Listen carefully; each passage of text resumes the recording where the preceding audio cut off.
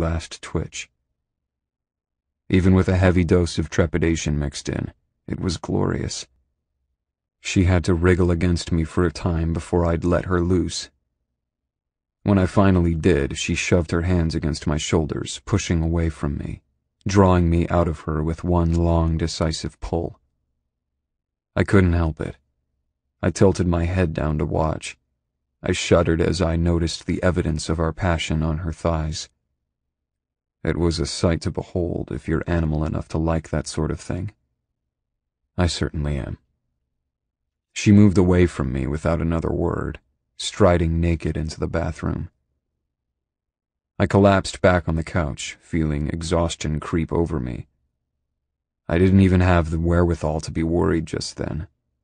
I was nothing but spent. It seemed I blinked and she was out of the bathroom and dressed again, looking like she hadn't just rocked my world on her lunch break. I rallied myself enough to speak up when I realized she was just going to leave. Wait, I said weakly, barely keeping my eyes open. You didn't answer my question. She paused, eyeing me with spectacular detachment. Did you answer any of mine? Goodbye, Dante. Don't be here when I come back. Can you wake me up at the soonest possible moment? I murmured at the empty trailer, about a second before I passed out. Chapter 15 Doubt thou the stars are fire, doubt that the sun doth move, Doubt truth to be a liar, but never doubt I love. William Shakespeare. Past. Scarlet. Weeks went by and there was no progress in the police investigation. No arrests were made. I was too creeped out by Harris to pursue it. In fact, I actively avoided dealing with him. But with every day that passed, Dante became increasingly disturbed, and I became progressively more paranoid. I dropped out of drama exactly three days after the attack. Graham's house was just too inviting for me. And of course, there was Graham herself, always there to greet me when I arrived. For the first time in my life, I felt like I had a home I was welcomed in, and I spent as much time there as I possibly could. I'd have dropped out of school without a qualm if I hadn't known it would have disappointed her. Dante didn't like it. He threatened more than once to quit football in response to my change in schedule. But perversely, I was the one that talked him out of it. We were codependent enough without inventing new reasons not to leave each other's sight. A few weeks later, I was willing to rethink my position on the matter. He was fighting again, I could tell, more than he ever had before, in fact, coming home with more bruises than he could hide or football practice could account for. I didn't have to ask. The guys must have been talking about me again, and I knew just the types of things they'd be saying. When girls with my reputation were attacked, it was a no-brainer, to my mind at least, that I'd be blamed for whatever the rumor mill was saying had happened. It had likely been blown out of proportion, and I figured I was either being called a liar or a slut.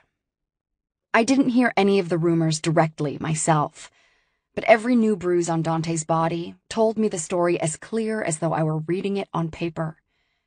Just when I thought I couldn't love him more. Detective Harris came to the house twice to talk to me, but he had no new information about the case, and as soon as he realized that Graham was as good as glued to my side, he quickly found a reason to leave. I do not like that man, Graham said after the second visit. She was studying my face. Darling, do me a favor. Always insist that I be there when he needs to speak to you. Always. I agreed happily. But Harris never came back to her house after that. Instead, he started pulling me out of my classes at school when he wanted to have a word. So much so, rumors started to go around that I was having an affair with the hot cop, as he'd been fondly nicknamed by the girls at school. It infuriated me, especially so since he never seemed to be doing anything to find the man that had attacked me. Instead, He wanted to have short, intense, meaningless conversations with me, always pretending it was official business. The third time he pulled me out of class, I was outright hostile toward him. Any updates on finding the man that attacked me, or are you just here to ask about my health again? We were standing near my locker. He'd asked me to show him where it was. And he was looking around, barely paying me any mind at all. I clenched my jaw. And if you want to talk to me, I'm going to need to call Vivian Durant. She's insisted that I not be alone with you. That got his attention, his head snapping toward me, eyes narrowing on my face. What did you tell her? You remember what I said, don't you? Everything about this case is confidential. If you share any information with anyone, you could get yourself into big trouble. And we will never catch this guy. I bit my lip. It wanted so badly to tremble. What does this man want from me? I honestly didn't know. It seemed to me he enjoyed terrifying me, but I also knew I had some serious baggage where law enforcement was concerned. Wh why did you pull me out of class? I told you I want to see your locker. Go ahead and open it up for me. I did, stepping back so he could look inside. What are you looking for? I asked him. How are you feeling? He countered. Fine, I bit out. Breasts still tender? I see you can wear a bra again. My shaking hands were in fists. They're fine. What are you looking for? He was standing right in front of my open locker, not touching anything, just looking. Clues? I'm a detective, you know. You sure don't act like one. Just sort of slipped out. I was immediately sorry. He didn't touch me, didn't lay one finger on me, but I felt physically intimidated nonetheless as he stepped into my personal space. Just because I'm police? He said very, very quietly, right into my face. Doesn't mean I'm not a man. Doesn't mean I can't be riled. So I would show a little more respect if I were you, Scarlet. Not only am I the only one who is willing to help you, no one else on the force would lift a finger if something were to happen to you. Do you understand? You've burned every bridge but this one. I tried to take a step back, and that's when it happened. Harris grabbed my arms to stop me, to keep me from moving away, and I swear I felt his presence before I saw or heard him, like electricity in the air, rage on the wind. Get your fucking hands off her! My eyes shut tight, in relief and horror, because I was saved and Dante was about to get himself arrested. This is none of your concern, Harris told Dante. Go back to class, son. Dante, my hero, my everything, was not intimidated by anyone, not even a cop, and he was furious.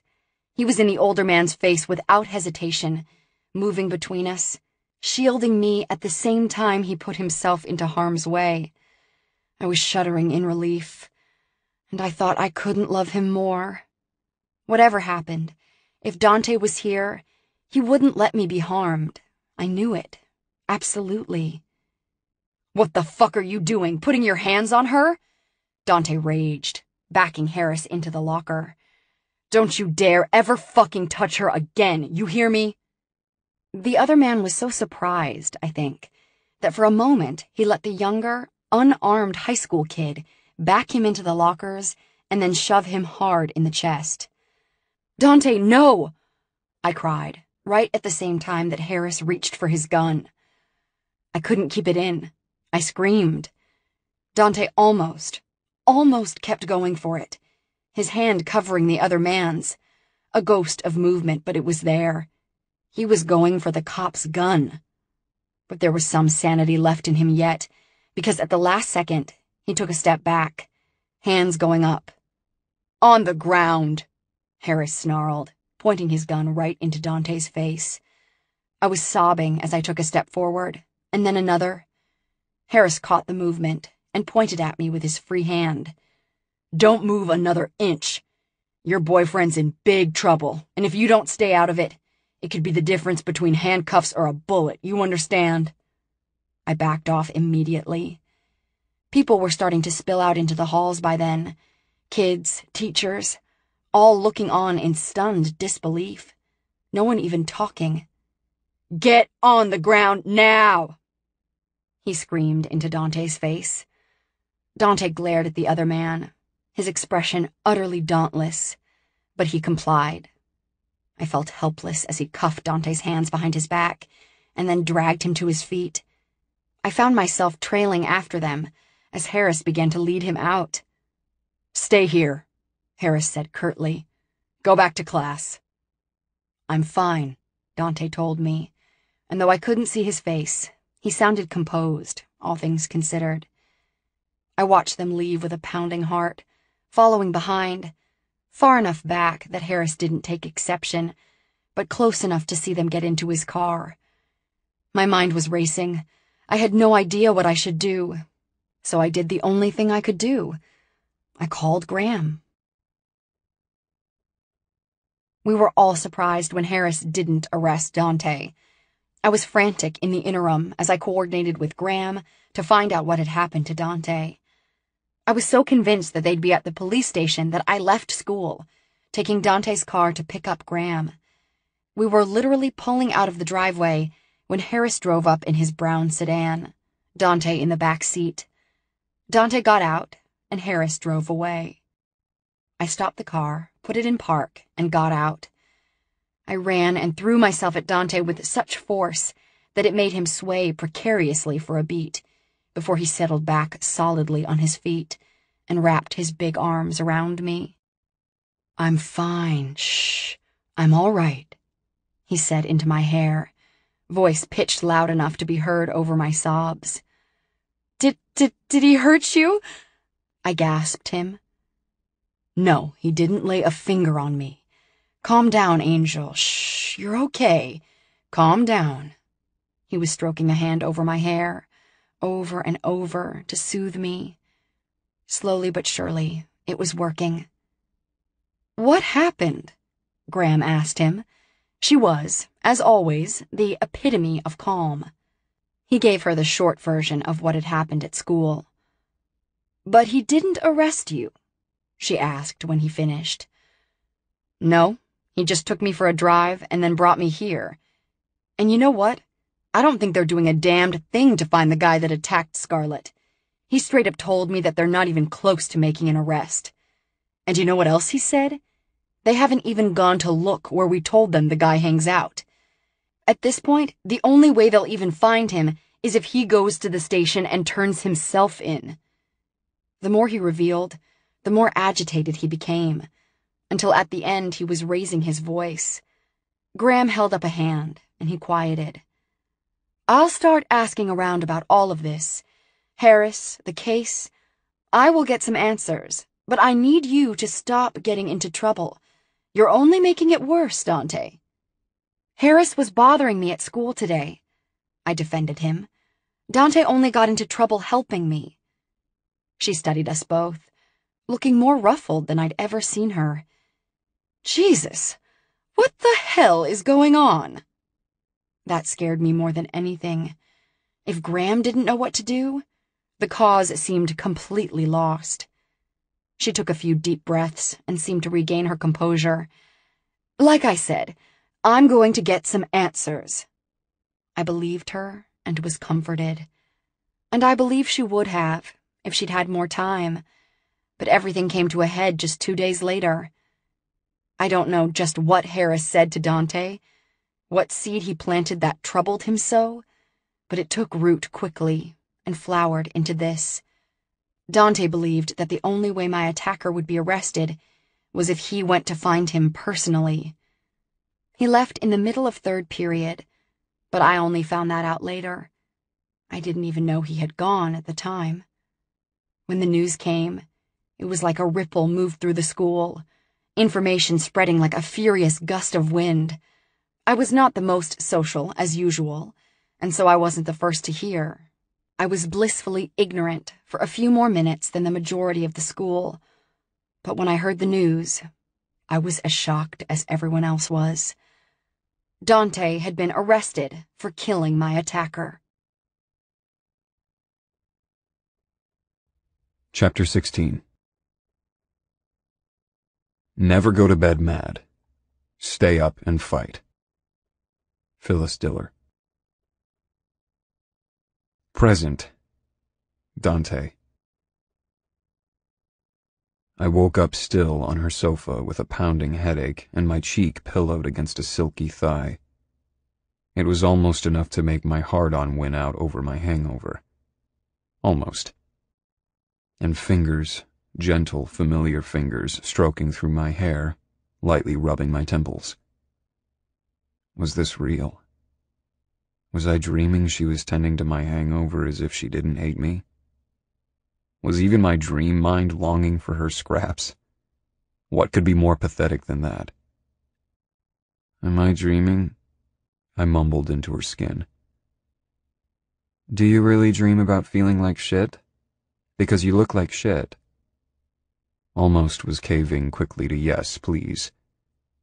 Hangover, I murmured into her skin, turning my head to nuzzle, one curious hand sliding up her bare leg trying without any conscious help from my brain to figure out what she was or wasn't wearing. Pants, no. Panties, yes, though they weren't much of a deterrent, and she wasn't resisting me, thank God. I fingered her, and she shifted under my cheek, her thighs parting just the slightest bit. It was enough.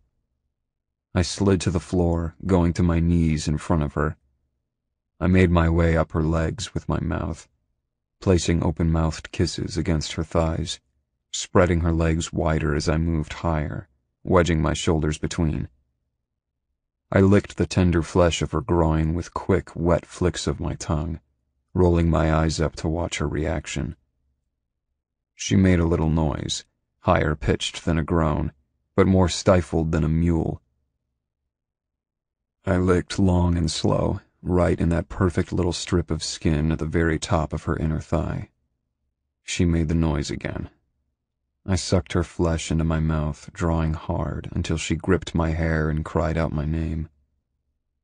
I smiled and went down on her, spreading her legs wide, pushing the tiny scrap of lace to the side and kissing her, licking her, driving my tongue into her until I had her clawing mindlessly at my shoulders, just losing it begging me to stop, to fuck her, to let up with my tongue. But I couldn't stop. Wouldn't stop. My entire life was out of my control, but this, her body, her pleasure, was mine. She let me get her off, but the second she was done, she was up, moving away from me, agitated hands scraping her hair back from her face. I was still wiping my mouth as I studied her, she was wearing the shirt she'd worn earlier, but that was it. No bra, no shoes, makeup scrubbed clean. How long have I been out? I asked her. A while, she answered, still out of breath but trying to hide it. One hand braced against the counter, the other on her hip. Her back was to me. I'm done shooting for the day. She moved to the trailer's small coffee bar, and I watched her silently, eating up her every move as she began to brew a cup. When I realized she was making it for me, prepping it exactly how I took it, my heart did a slow, painful turn in my chest. What the hell was going on? Why was she being so civil? It undid me faster and more thoroughly than her hostility ever could have. Perhaps that was why. She reached up into one of the tiny overhead cabinets and fished something out.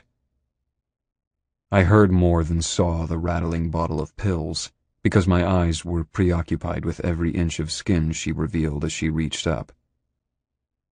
I shifted uncomfortably, and it was only as I did so that I realized my clothes were off. She must have stripped me while I slept, leaving me in nothing but my boxer briefs. She brought me two ibuprofen and the just right cup of coffee. I thanked her, eyes devouring her face, but she wouldn't look at me, instead giving the barest nod and turning away again. You took my clothes off while I slept. It wasn't an accusation so much as a question. It was the wind, she said absently, sarcasm present even if the will for it was not. She was looking at the counter, at the gift I'd brought her. What's that? It wasn't a question so much as an accusation. We'd always been good at balancing each other out. I don't know, I drawled. I think the wind carried it in when it was blowing off my clothes. I could only see a hint of her profile with the way she was turned, but I caught her ghost of a smile. My chest ached at the sight. To say I missed her was a cruel understatement like saying you'd miss your soul after you gave it away, after it was torn from you. I was empty. Flesh without blood. I was not whole without her, never would be. I wasn't a big enough fool to believe that could ever change. I downed the pills and took a long swig of my coffee, all the while she didn't move, just staring at the box. Open it. I urged her. I had no idea if she would. At that moment, she was an utter enigma to me. I still couldn't figure out why she hadn't made me leave yet. Well, I had an idea, a gnawing, sickening suspicion, but my fear of the notion made me instantly reject it. Denial is a powerful thing. I tensed when I realized she was actually going to open the gift, leaning forward, resting my elbows on my knees. She took the Louboutins out of the box without a word, setting them side by side on the counter. Hyness Strass, she said reverently. Did you just address your shoes as Hyness Strass? She shot me a look. That's their name. You know the name of the shoe. She actually looked sheepish for a short, endearing moment. It was adorable. It made me want to kiss her silly and fuck her mindless but that was nothing new. What I mean is, I don't want them, she rallied. Quit buying me shoes, you stalker. Well, you can throw them away like the other pair, or do whatever you want with them, but I'm not taking them back, and I had to get you something. To congratulate you on landing the big part. She was back to drooling over the shoes. Why did you pick these ones in particular? She asked it with begrudging admiration in her voice. I'd done well. I had help from one of our department store stylists. I told her you were deep into shoe porn, that you only get off on the hardcore stuff. I warmed as I saw that she had to bite back her smile. And she recommended a few. These ones stood out to me the most. With a sigh, she set them back in the box, turning to look at me. What are you doing here? Her voice was almost gentle with the finest edge of pain. It was foreign on her, so unaccountably vulnerable that it made me wince. I told you earlier I had a question for you. You didn't answer it. She waved her hand in the air, dismissing the notion. What I mean is, what are you doing in town? I stared at her because she knew the answer to that. Still, if she wanted to play pretend, I could do that too.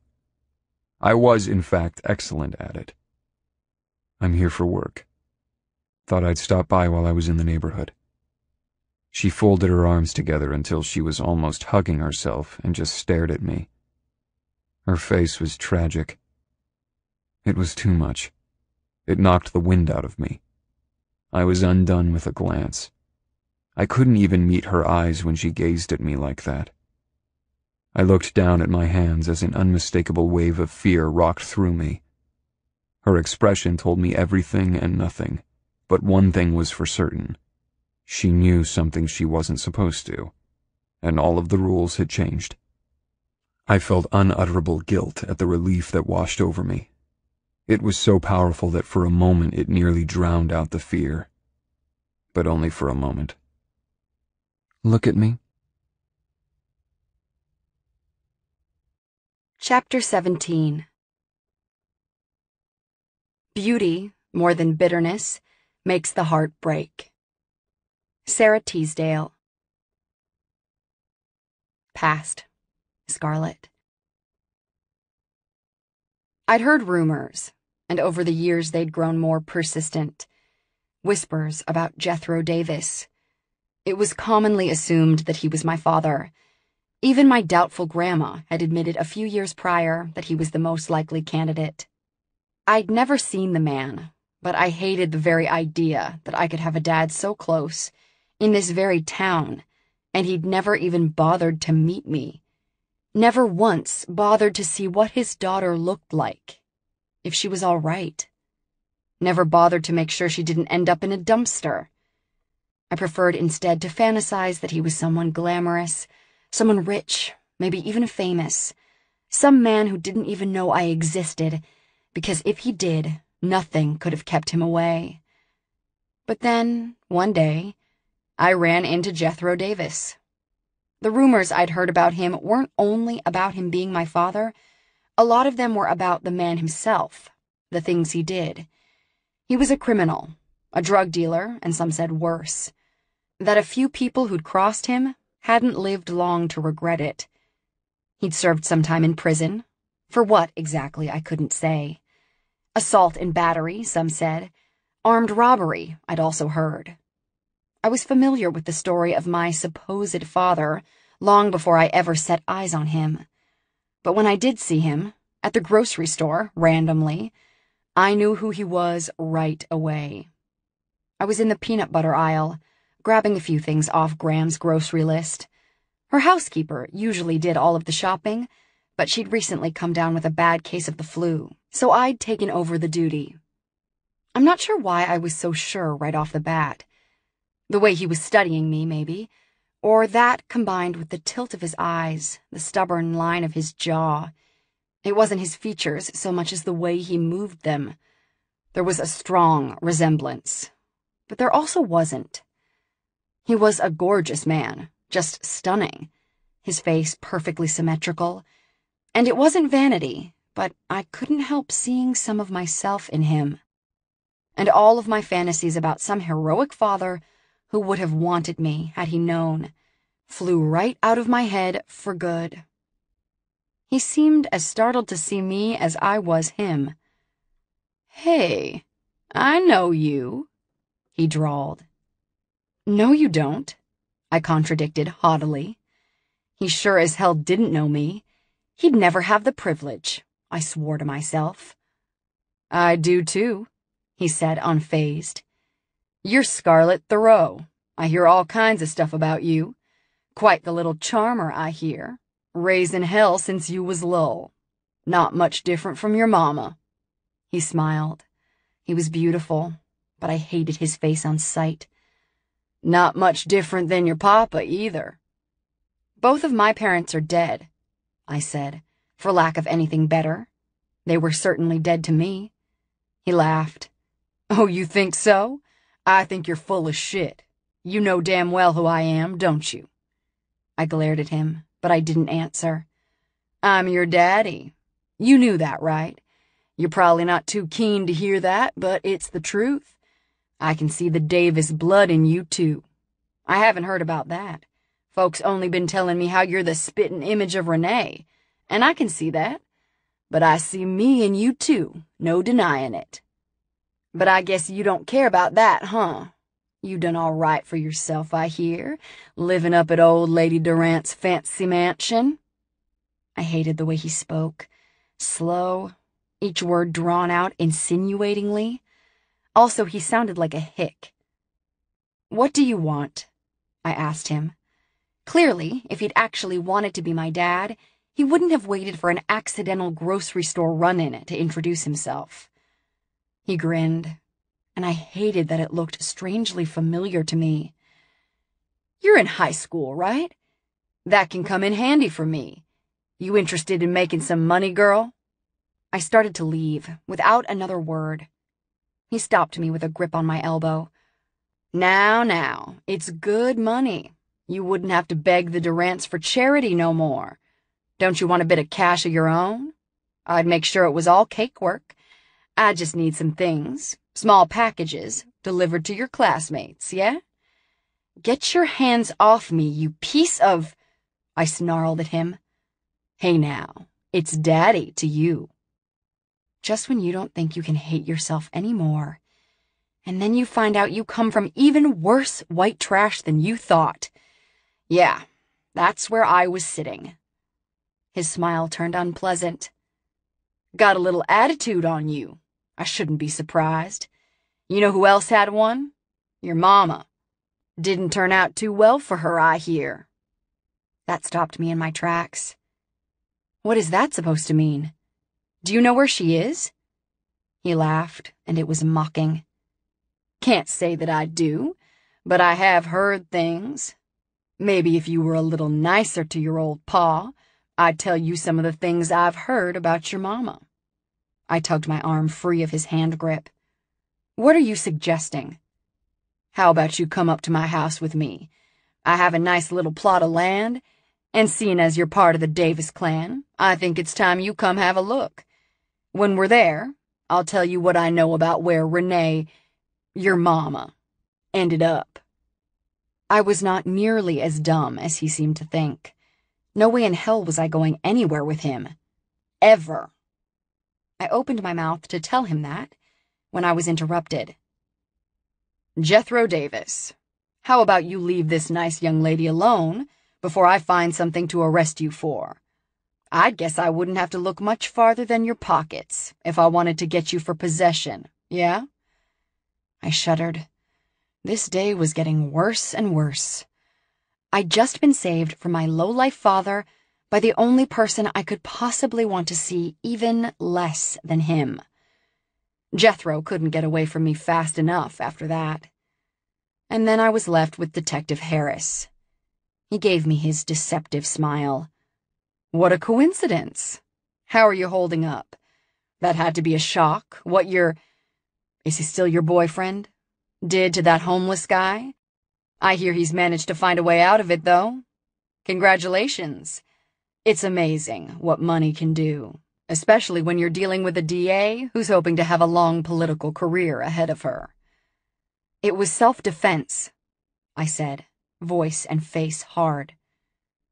Everyone has a right to defend themselves.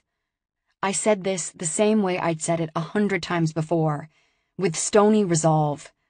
I was used to defending what Dante had done. I'd never stop defending it, because I knew he'd done it for me. He smiled again. I apologize. I was out of line there. I didn't mean to upset you. I was actually just trying to help you. I saw that creep bothering you and thought I should intervene. Jethro was bothering you, wasn't he? I nodded, thinking it was ironic that this piece of work saw Jethro as the creep. But I begrudgingly said, Thank you, because Jethro had been bothering me. Any time, Scarlett. You know I'm always here if you need me. Always. I didn't like the sound of that one bit. I tried to move past him, but he stepped in my way. Listen, you may not see it now, but I thought I should warn you. Dante is dangerous. Dangerous to others.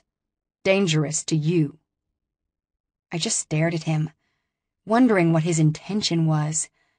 By his face and voice, he seemed genuinely worried for me. But with him, I didn't trust it. And his intention really didn't matter. Nothing on earth could make me afraid of Dante. He would die before he hurt me. He would die to keep me from being hurt. By anyone. This I knew. You think he defended you, I get it. You think it was, what, manslaughter? Self-defense, if you're being completely naive? But it was more, I promise you. He went into the woods looking for a man, and that man ended up dead. What is that, if not intent? I started shaking my head. He was wrong. I knew it for a fact. I'd looked into Dante's eyes while he told me what really happened. He'd gone looking for my attacker, intending to bring him to the police, since the police were doing nothing. But when he'd found him, the man had pulled a knife and attacked. They'd fought. Dante had tried to take the knife away, but instead, much to his horror, he'd ended up stabbing the man. He'd tried his best to get help, but my attacker had bled out before he could get the proper medical attention. Dante had told the story in painstaking detail and with utter sincerity, and I believed him unconditionally, even if I was one of the few. If he loses his temper again, how can you know it won't be you that ends up on the wrong end of it? He's taking anger management courses, I told Harris, not because I thought Dante really needed them, but because it seemed like something Harris should hear. You're not listening, Scarlett, or else you're not hearing me. But I want you to know that if you ever need me, I'm just a phone call away. You can come to me for anything. His words felt insinuating to me. They always did but I just nodded and moved past him. At least he wouldn't be bothering me anymore. Not more than the random coincidence. My case was closed, thank God. Harris let me leave, and I went straight to check out. There was only one lane open, and I had the terrible luck of being directly behind Jethro. He sent me a greasy smile as he paid for his beer and cigarettes with his EBT card. Of course, this was not allowed, but when you're a small town's biggest drug dealer, things like that tend to just go your way. I glared at his back when he left. I sincerely hoped I never had to set eyes on him again. Meeting Jethro had bothered me. It was disheartening and disturbing to realize that even I believed he was my biological dad. Before, I'd always been able to shrug off any relation altogether, the rare times that it came up because the idea had been as abstract as it was distasteful. I didn't want this man to be my dad, and so he wasn't. But not anymore. After that, I carried the weight of belonging to even more white trash heritage than I already claimed. It was a blow to my ego that I hadn't needed, to say the least. Not a day in my life had gone by when I hadn't known and been reminded that I was trash more proof was just picking at a wound that was already bloody. One other thing did come out of meeting him, though. A lesson, or at least a reminder. I was not a Durant. Graham had accepted me into her heart, into her home. She fed me, clothed me. She provided me with everything I needed and more, from my phone to my haircuts. She'd even tried to buy me a car, but I'd drawn the line there no, I'm not crazy, I just couldn't do it. Couldn't defend taking such an extravagant gift. Not without earning it. She had three extra cars. When I needed one, she always generously allowed me to borrow one. It was enough for me. And as much as I wanted to tell all of the people that looked down on me to go fuck themselves, I did care how it looked. How I looked when it came to Graham and her kindness toward me. If the world thought I was taking advantage of that, then hell, maybe I was. And so I tried my best not to. So meeting Jethro Davis wasn't all bad. It made me realize that I needed to start earning my keep. Chapter 18 I love you as certain dark things are to be loved, in secret, between the shadow and the soul. Pablo Neruda. Present. Scarlett. Filming was not going how I'd expected. It was a roller coaster. All ups and downs, nothing in between. A part of me hated it, and a part of me found it stimulating. At least I wasn't bored. The acting was the only thing I wasn't conflicted about. I loved it. Because, God, I was tired of being me. It felt good to slip into some other shoes. But the rest was a jumbled mess that consisted of changed scripts, new lines, and repetitive reshoots. Every scene felt like it had to be redone a dozen times, at least. I thought that all of this traced back to one thing the director. He was hard to please and harder to impress. Stuart Wendley was known for making A-list, character-driven films that made the Film Academy swoon, and for being an eccentric, sometimes tyrannical, perfectionist. When I thought of it that way, things weren't actually going so badly. Still, it felt like I was somehow failing, and I had begun to miss my friends, who were gone four days or more a week. And hell, even my crappy old airline job. where at least I hadn't felt I was incompetent. I had quit with relish over a month ago, never dreaming that I'd long to go back to it for even a second.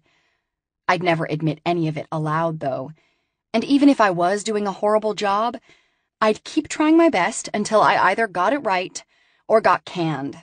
It wasn't even a question. Is he always like this? I asked one of the production assistants after Stewart had called an abrupt break and stormed off set. Again. Hmm? She asked. What I mean is, is this how a movie production is supposed to go? Or is this one just a colossal failure? I hoped that wasn't the case, but I needed to know if it was. I always, always preferred the truth. That had her finally looking at me, pushing her glasses up high on her nose to study my face. This project is as smooth as they get, to be honest. Usually filming with him is a nightmare. I was shocked, relieved, and somehow annoyed. But at least it wasn't me. Stewart was back within the hour, which was usually the pattern, and we set up again. Two takes later, and good old Stu was back to ranting. It's a journey back from feeling alienated from the world, he said passionately, speaking directly to me. Well, that I could relate to.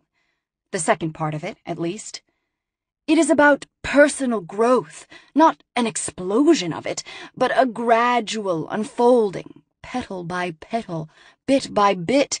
This scene is supposed to make you blossom. He's doing something for you that no one ever has before.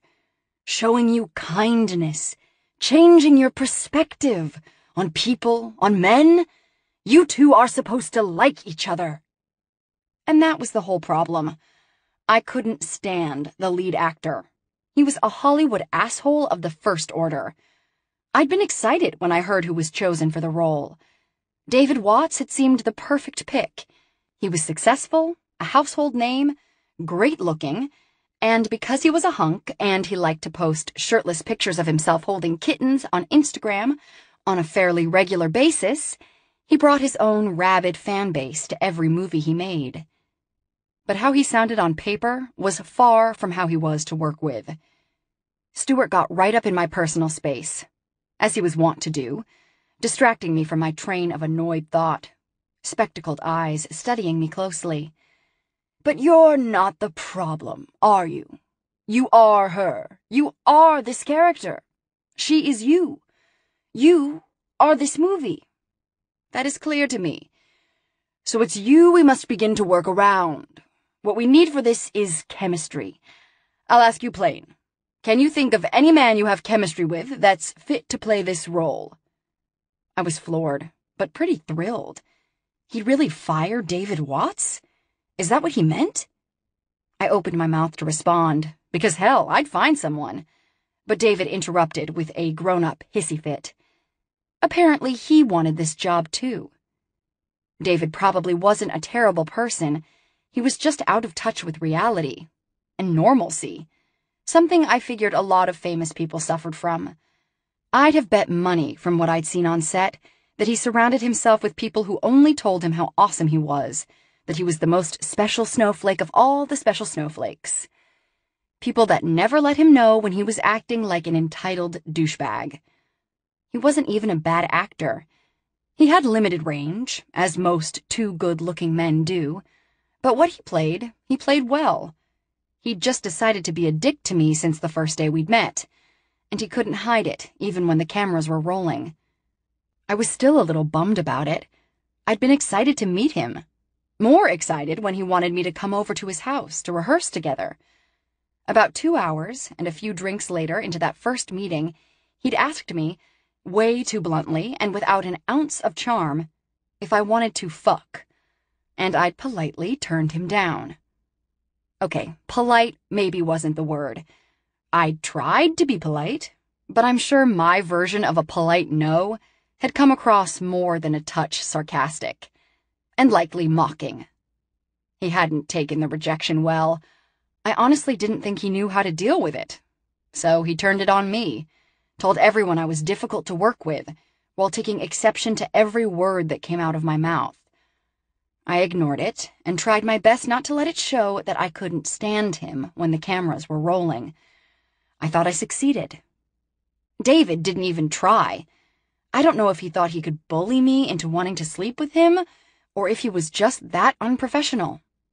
One thing was for sure. Before today, no one had dreamed there was a chance he could be fired. I don't want to fire you, Stuart told him when David had calmed enough to let someone else get a word in. I don't want to. I just may need to. Scarlett is electric. She's magic. Incandescent. She gives me life. She's my muse, and she was made for this part.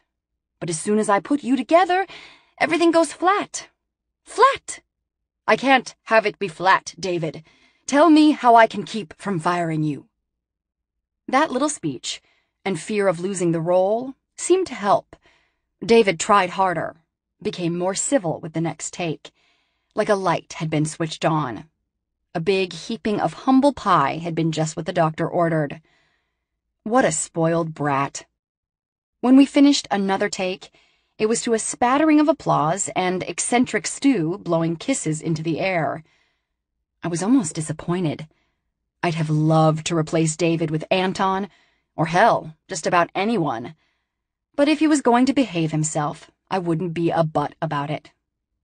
We were taking a short break while we waited for setup on the next scene, when my phone started ringing. It was Bastian. I took a deep breath and answered. I can't find Dante, he began. I closed my eyes, rubbing my temple with my free hand.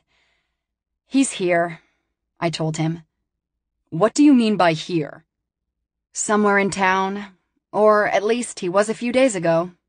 Bastian cursed. Damn it, I should have guessed. If you see him again, tell him I need him to call me. He needs to pull it together. Do you really think that's a good idea? I asked pointedly. If Dante knew I was talking to his brother, no matter the reason, I had no doubts it would send him into a jealous rage.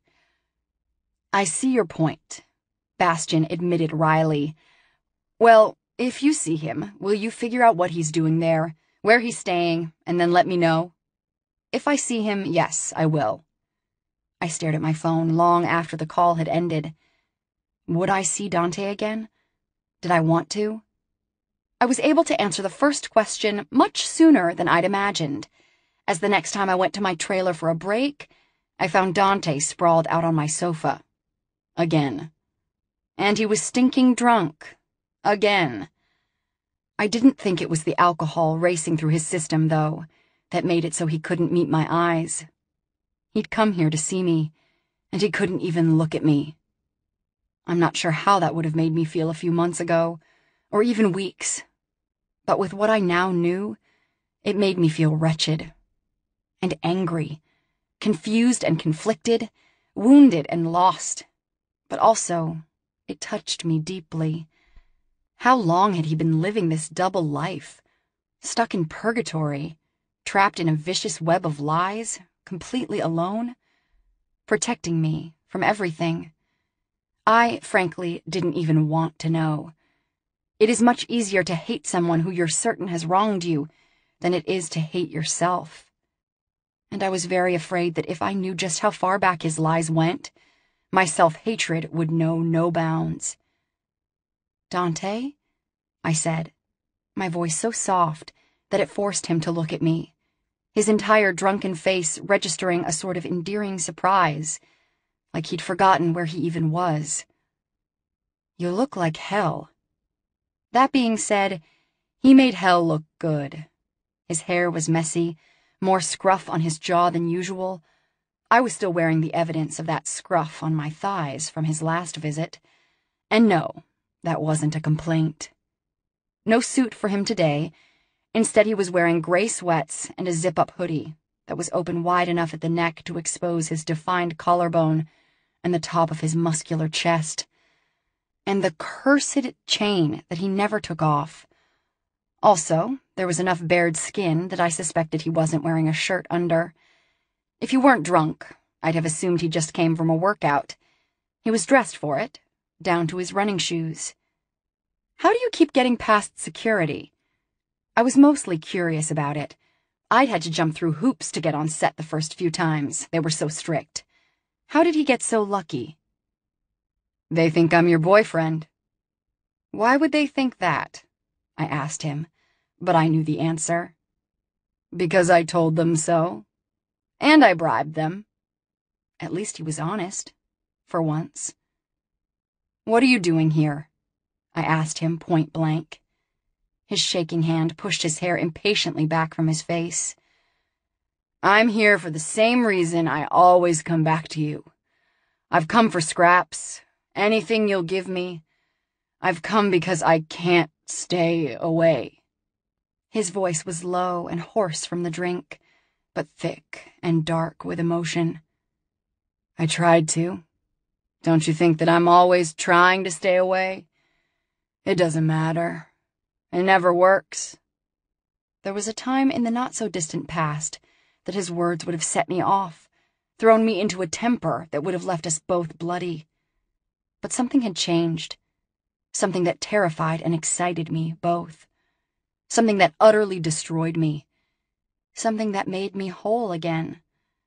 I did not know how far all of his betrayals ran, how deep or shallow his lies but I was starting to realize that in one respect, at least, it didn't matter. Some part of my pathetic heart was going soft for him again.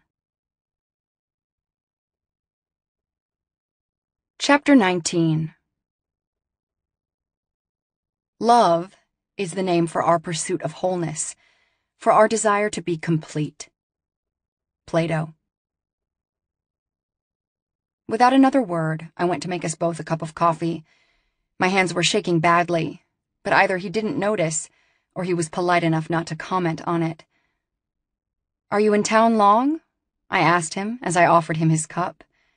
He took it with a soft thank you, dragging a hand through his hair, eyes downcast. I don't know.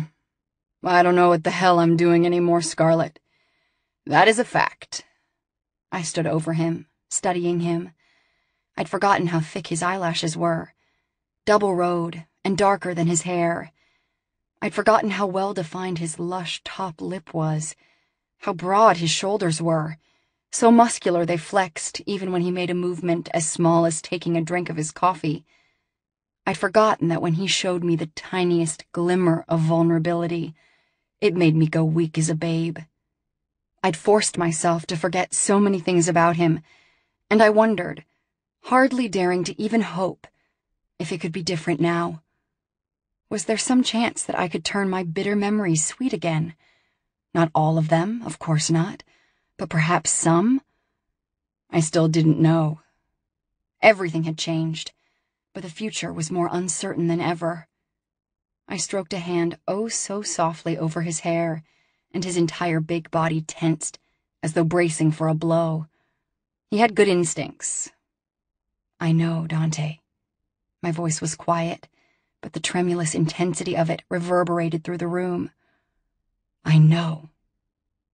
I don't have the faintest notion what you're talking about. Slowly and carefully, he set his coffee down on the side table to his right. You're such a liar, I told him, almost playfully, because for once, I had the upper hand. Finally, that had him looking up at me, meeting my eyes without flinching. Who have you been talking to? The question came out careful, his tone measured, deceptively harmless. I wasn't fooled. His face was bland still, except for his eyes. They were telling me a different story. A story of rage and violence, of his temper boiling, unchecked, just under the surface. If I gave him a name, told him who had clued me in, heads would roll. That's the least relevant thing you could ask, I finally answered, an evasion, but one I knew would be effective. I don't agree. Who? The bland veneer was slipping from his voice. I'll answer one of your questions, but not that one. My voice was almost teasing. He licked his lips, and it was an effort not to bend down and kiss him. What do you mean? I was in dangerous territory now.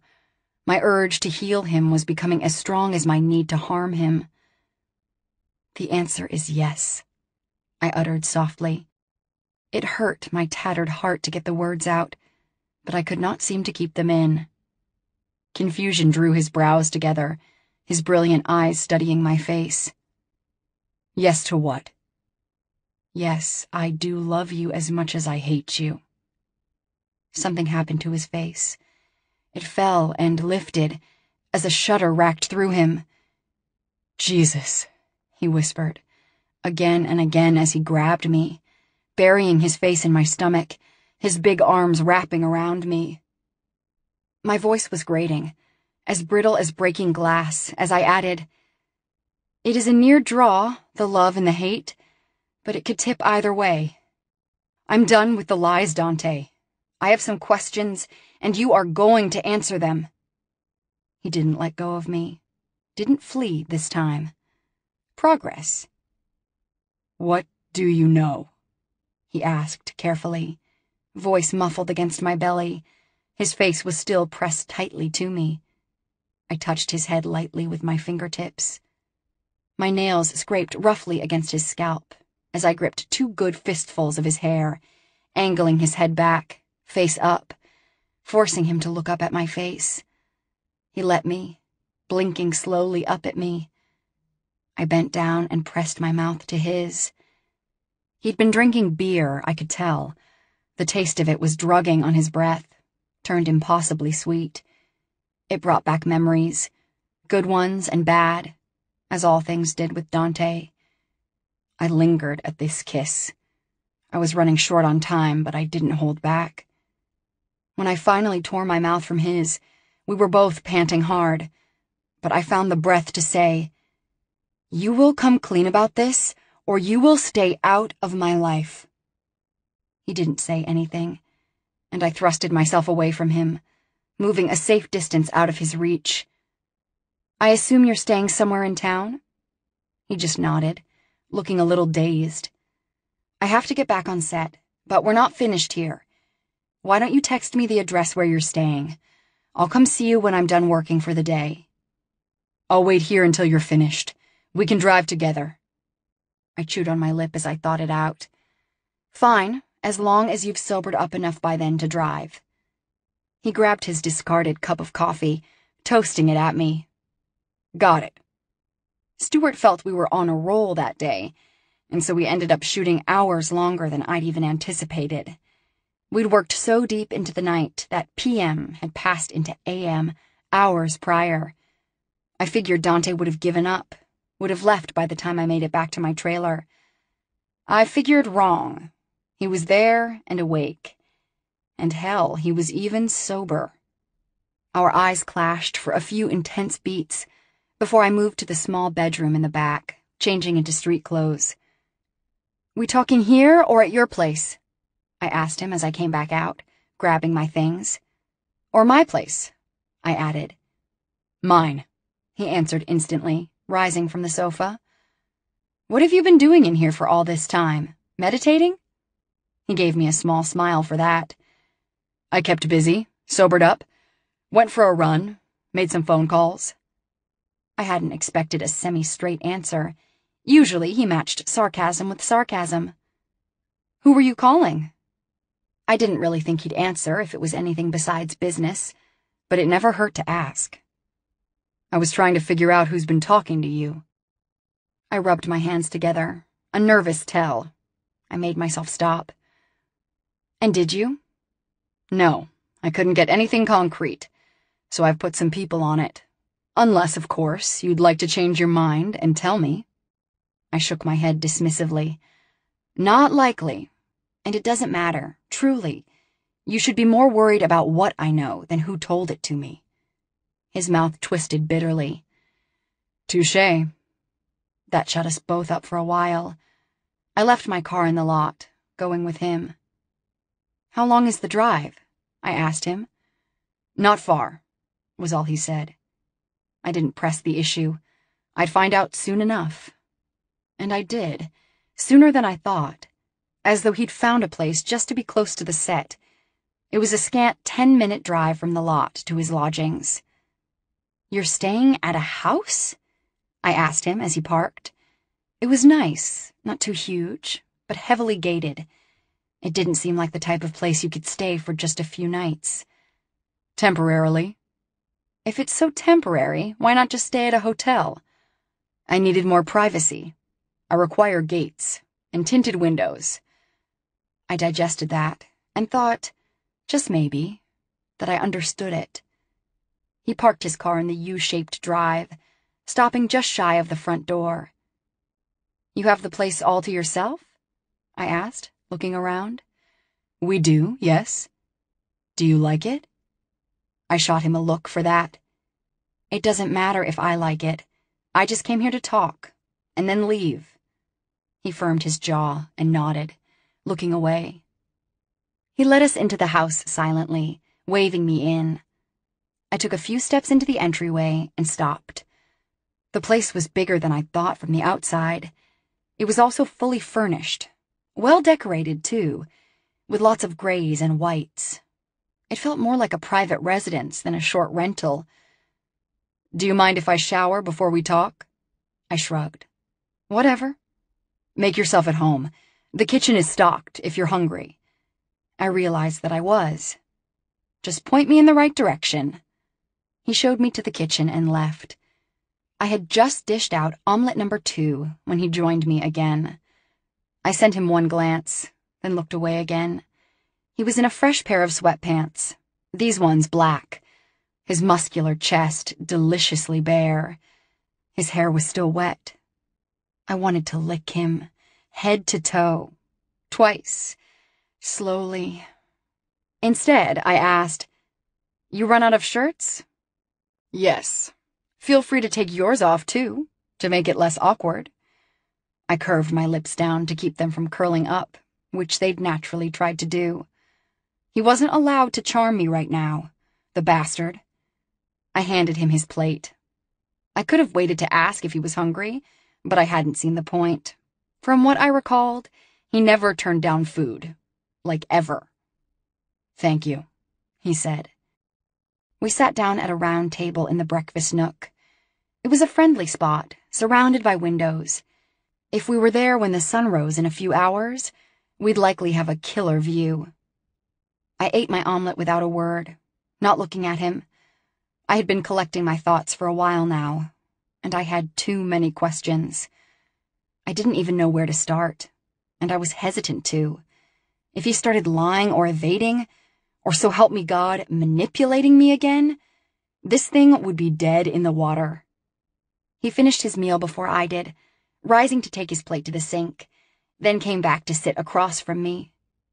I felt him staring at me while I ate, but I didn't look up. I finished about half of my omelet before I pushed my plate toward him. I prepared us both the same portion size, just kind of assuming he'd finish what I didn't because he had, a thousand times before. Jesus, even eating together was like walking through a field of landmines. Put us together to do anything, and there was a memory behind it. A dozen, a hundred. We had words with whole lives attached to them. That was the burden of falling in love so young, of letting yourself go so deep into another person. You owned too much of each other to ever really walk away and we had proven as much, time and again. I waited until he finished the second plate and rose to take it to the sink. I got up and followed him. Your mother's been blackmailing you. It wasn't a question. I watched his back as I said the words, witnessed how he braced himself and shuddered like his whole world was crashing down around him. Because it was. He turned to look at me and I read too much in the agony of his eyes, knew too much from what they held. So many of my questions were answered from just that look, if I was honest with myself. But denial is a powerful thing, and I wouldn't have minded clinging to it for just a little bit longer. Yes. Yes. He said it with a sort of reverent lightness, as though some great weight had been lifted from him because years of burdensome secrets had just been taken off his shoulders. Jesus, I was a fool. Of course she has, he continued succinctly. Of course she has. Chapter 20 I know of only one duty, and that is to love. Albert Camus Present Dante I was shocked at myself, at my reaction to her words. I'd been avoiding this for so long, had gone through so much pain, suffered so much just to keep this from happening. I'd never imagined in my wildest dreams that my knee-jerk reaction to having it all come crashing down on me would be a torrential downpour of relief. I was weak with it. But also, of course, it was my worst nightmare. The very thing I had always dreaded. Because what she would do now that she knew terrified me. This place doesn't feel like a temporary rental to me, Dante, she said, her voice somehow normal. Oh, now she was changing the subject. It was infuriating, but I answered her anyway. I am considering making it a more permanent residence. My mother can't know about it, you understand. As I spoke, I turned fully to look at her. She grinned, tilting her head to study me. An expression fell across her face, one I knew she didn't intend, of almost curious affection. That look on her face was like a punch to the gut. So many feelings rushed at me when she studied me like that. Like years had disappeared and we were back to some petty arguing that meant nothing in the long term to us. Some form of the old bickering that we used to enjoy when we still had complete faith that our bond to each other was unassailable. This wasn't that. Of course I knew that. But it was painfully pleasurable to pretend that it could be like that even for only an evening. You plan to stay in L.A., close to me, as long as your mother doesn't know about it. She tapped her chin as she spoke, looking thoughtful. I made my face stay bland and neutral and just kept meeting her eyes, but it was no use. She was on to me, and I couldn't have said if I was more acutely relieved or utterly horrified by that. You don't know how much I know, she accused correctly. You have no idea how to handle me because, for once, you're more in the dark than I am. How does it feel, lover? Wretched. I gave her that one bitterly honest piece, because God, she deserved it. As wretched as you could hope. Care to clue me in? Of course not. You can guess and worry and stress your deceitful black heart out. And while you're doing that, you can make me a drink. I assume you have a bottle of superior scotch around here somewhere. I decided to take the order seriously, leading her from the kitchen to an adjoining sitting room. As she'd correctly guessed, I did have a fully stocked bar. I fixed us both a drink. I didn't have to ask her what she wanted or how she wanted it. It was all too familiar to me. What are you planning to do? I asked her, handing her a glass of scotch straight up. Are you going to confront anyone? She laughed, a sound of pure delight that reverberated through me, making my heart pound, reminding me that it was still a slave to her whims. Damn her. Who would I confront? And about what? What do I know, do you suppose? If I say I know everything, will you slip and tell me even more? I took strong exception to how much she was enjoying this. This isn't a game. Her smile died a short death, leaving behind the quiet rage that had never really left. You think I don't know that? Her voice was so full of icy bitterness that I could taste it in my own mouth.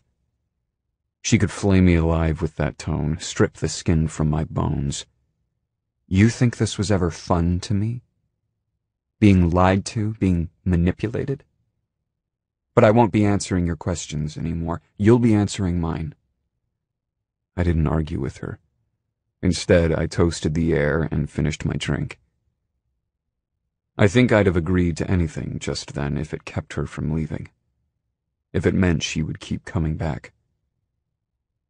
I'd reached my threshold on living without her. As dangerous as it was, as much as it made my chest cold with fear, I was done staying away from her. And God help me, I didn't have the will to live with the lies anymore.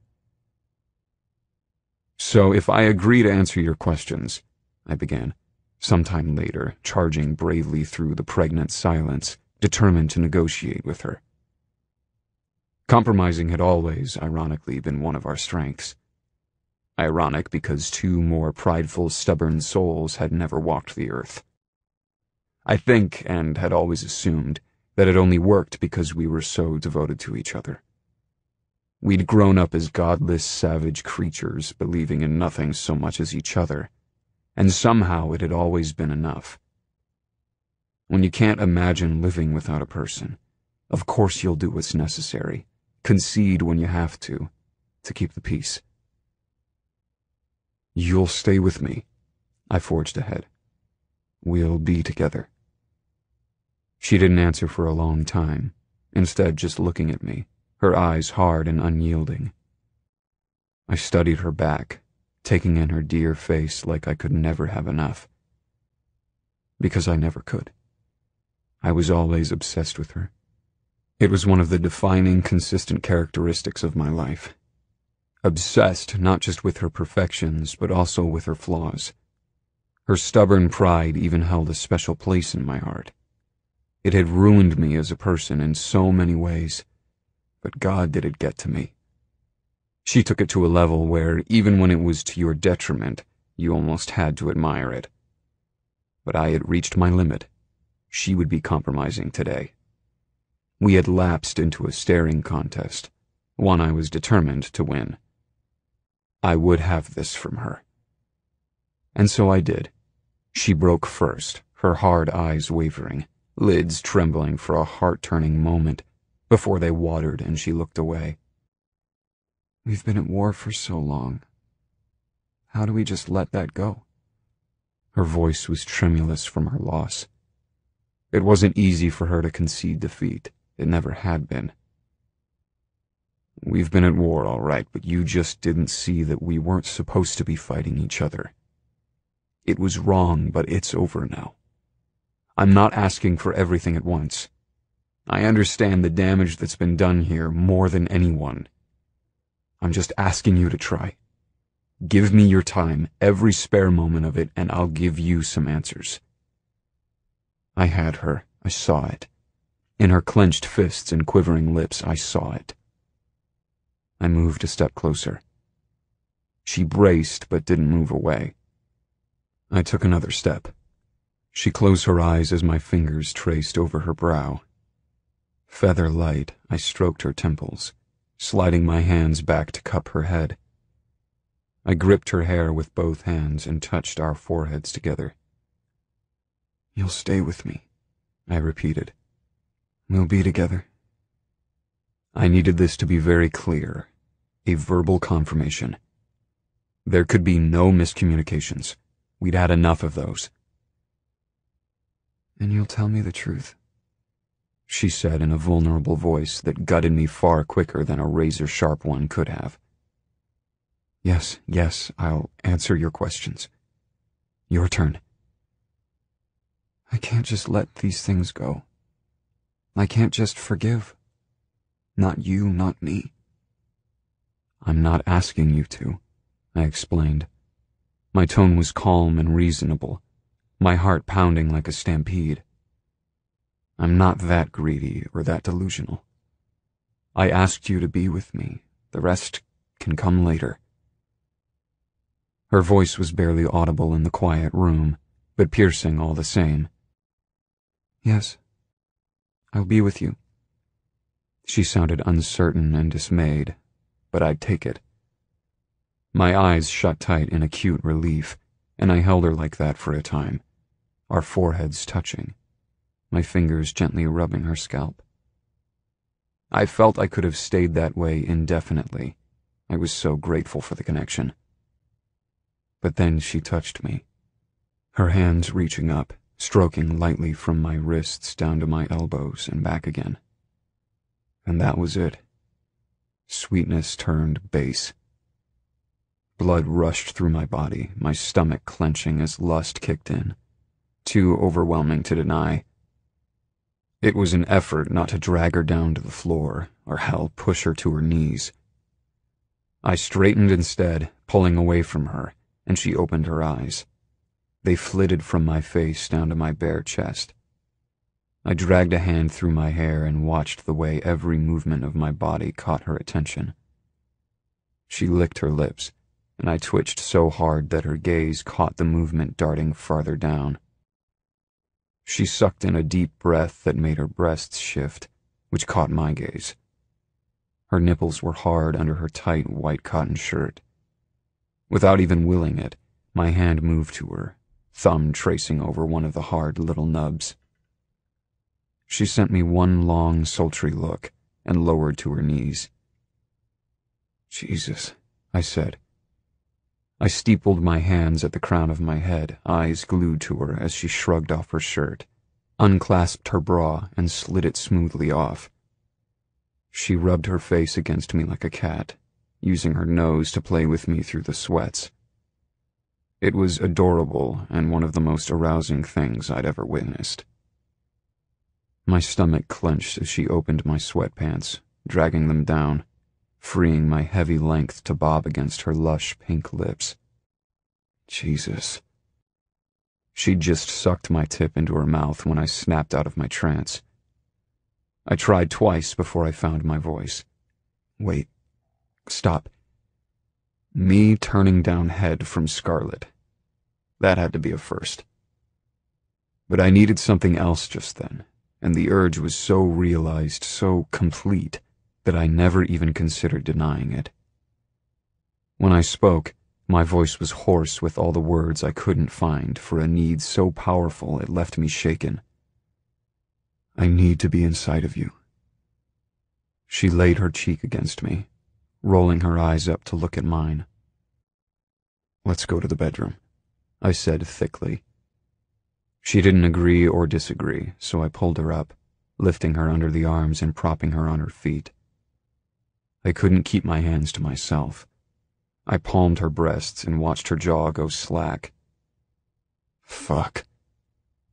I let her go, taking a step away as I pushed my stiff length back into my pants. Bedroom. I want you in the bedroom.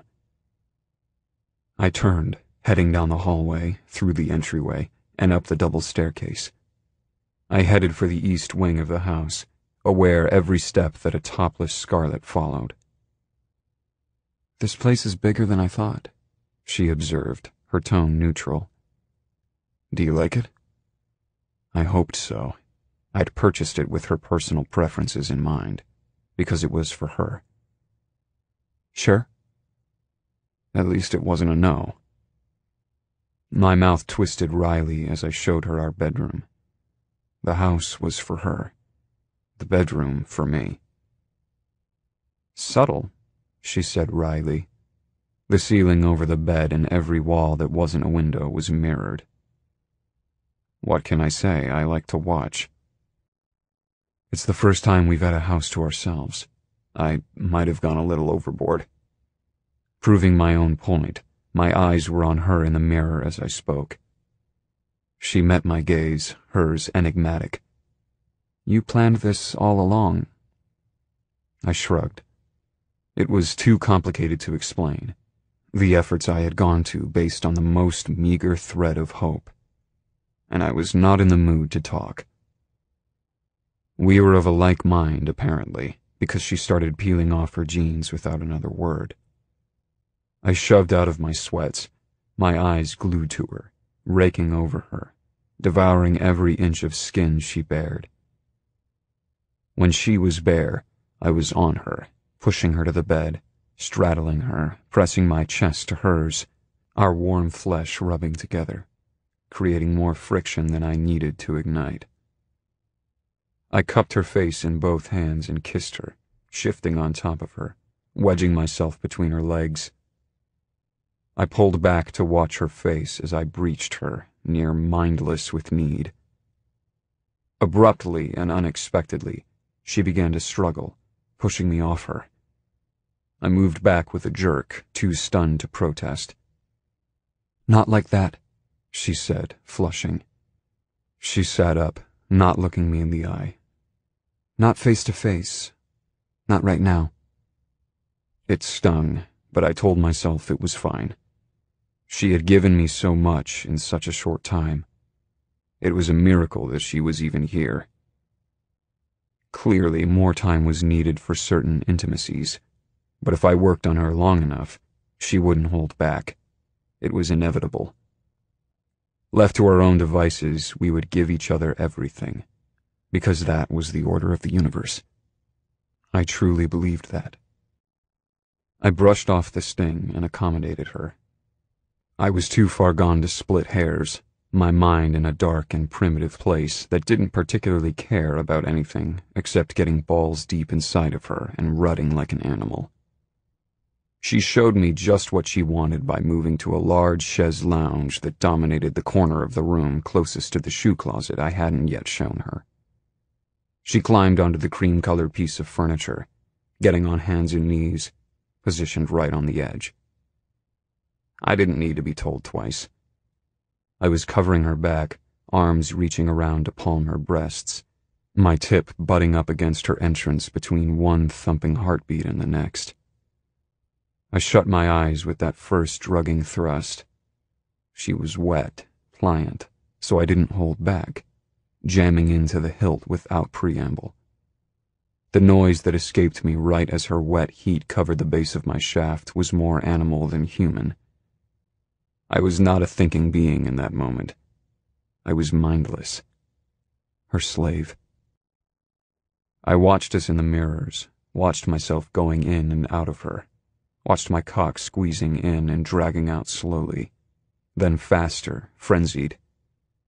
As soon as she began to get loud, close to her release, I slowed the rhythm again. She was braced on all fours, her back arched, but her head was turned with mine, watching our bodies, never meeting my eyes no matter how long I stared at hers, trying to catch her gaze. Again, it stung but it was a battle for another day. I watched her face while my body pumped into hers, watched her watching where we joined, and that did it. I'd wanted to last longer, wanted to savor more, but it was hopeless. I should have been amazed with myself for lasting as long as I had. The first touch of her nose nuzzling my shaft back in the living room had nearly had me coming in my pants. I kissed her nape while I emptied inside of her, savoring with complete pleasure that moment of total abandon where I lost myself in her. My mind blown to bits. I was still coming, spurting after effects deep in her womb, when I lifted my head to watch her slack-jawed release. Caught the way her eyes glazed over as the skin-tingling rush of her orgasm overtook her. It was breathtaking a heaven worth going through hell for. I'd never thought otherwise.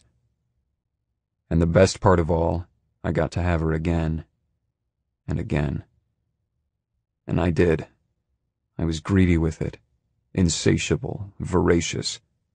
She brought me to life. I had her as many times as I could before she cried, Uncle. There was never an end to this need she created inside of me this endless chasm of want in my blood for her. Never had been, never would be. Chapter 21 I wanted the whole world or nothing. Charles Bukowski. Past. Scarlett. Graham was not happy about my decision to get a job. Dante less so. He was irate, predictably belligerent about it. He threw such a fit initially that Graham ordered him to go for a run. When we were alone, she tried several different tactics to get me to change my mind.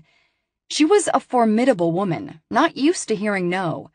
And when she did hear the word, she didn't even consider accepting it. It was nothing but a challenge to her. It was the closest we'd come to really butting heads. That alone almost made me cave. Darling, she said with her most charming smile, we only just got you here. I was looking forward to your company. It was the principle of the thing. I would not, could not, end up like my parents, like my grandmother. I've made up my mind, I told her stubbornly. It's not a big deal, just a few hours on school nights, a few more on weekends. Now that I've quit drama, I have plenty of free time. She tried a different tactic. I knew she would. I wouldn't get your hopes up. It's the wrong season for part-time jobs. I guarantee no one is hiring. I swallowed hard. I already have one. The manager of the Five and Diner hired me on the spot. I start on Monday. Her eyes narrowed on me. It's quite unnecessary. Why on earth would you need a job? Any need you have, I'm happy to provide for. Just tell me what it is you're earning money for. I'll buy it for you, darling. I gave her brutal honesty. Not because I wanted to, and not because I wasn't grateful. It was a matter of self-worth. If I was ever going to get some, I knew I had to earn it. I can't be a Durant charity case. Not more than I can help. At least if I get a job, I'm trying to take care of myself. She gave me the coldest look I'd ever seen her aim my way. It made me shiver and instantly want to take back whatever I'd said that put that look on her face. She was a force of nature like that. What she felt, you felt. If she was happy, the world knew joy. When she was angry, yeah, you felt that too. And when she was disappointed in you, you felt like absolute shit. I'm sorry that you thought this was charity she said, with haughty chill. You thought I felt some sense of duty toward you? And here I thought I was doing it out of love. Silly me. Her tone was scathing, a vacuum of disdain. It sucked all warmth from the room, took my stubborn pride and left me feeling ashamed and alone. I was out of my league. A trash can girl could not hope to go head to head against a queen. I shook it off shed the feeling. I would not back down on this, not even against Graham. I, I, I, I'm s s s sorry it came out that way. I'm not, uh, uh, ungrateful, but, but, but, I'm keeping the job. The stutter did her in. Her hard expression went soft, and she let out a soft, Oh, my darling girl, Oh, I'm sorry. I lost my temper. You see now where Dante gets it. I won't stop you from having this job, if you really think it will make you happier. I just worry about you. I wasn't sure if I was relieved or completely humiliated that I'd won because of pity. But I took it all the same. Graham was one obstacle, Dante another. Over the years, we'd learned to pick our battles with each other. What that meant was basically whoever cared more won. Whoever cared less compromised. I just assumed I'd be winning this one. I didn't count on him freaking out, his hellish temper coming out to play. No, he said to me first thing as he came back from his run. He was sweaty and agitated. He looked good enough to eat. But it was the wrong approach. I already have the job. I was hired to wait tables you're just going to have to get used to the idea. No, I'm putting my foot down about this one. A fight it was. Excuse me? You heard me. Hello, Temper. It's me, Scarlett. What are we going to do about this bossy son of a bitch? Likely nothing productive. Still, we'd try. What the hell is your problem? And when did you get the idea you could tell me what to do? Why the hell do you want a job? If you need something, just tell Graham. I rolled my eyes, making sure he saw it. Spoken like a true trust fund, baby. I need to start making my own money. Why? Why do you care? He was right in my face, leaning down to me. I met him glare for glare. Why do you always have to push it? I don't sleep at night, worrying about you since the attack. And now you want to go off on your own for hours a day? And for what? That softened me a bit. He's dead, Dante. He can't bother me or anyone else ever again. And what about that fucking cop? If he gets wind of you working as a waitress, he'll bother you every day. I swallowed the lump in my throat. Now there he had a point. I'm sorry you're worried, but I'm not quitting. I can't live my life in fear of what ifs, and I can't be a Durant charity case for the rest of it either. I need to be more independent. What? What the hell is that supposed to mean? It means I'm a loser. I don't do anything. I don't contribute. I'm living here in a mansion, and I've done nothing to earn it. That's bullshit. You're a high school student. That's your job right now. That was laughable. I was a C student on a good day, when I was actually trying. Most days I didn't even try. My mind tended to wander as soon as a teacher started talking. I don't deserve any of this, Dante. I don't deserve to be here. Deserve? What does that even mean? And if you don't deserve to be here, I don't either. It was so outrageous, I almost felt slighted by it. Insulted.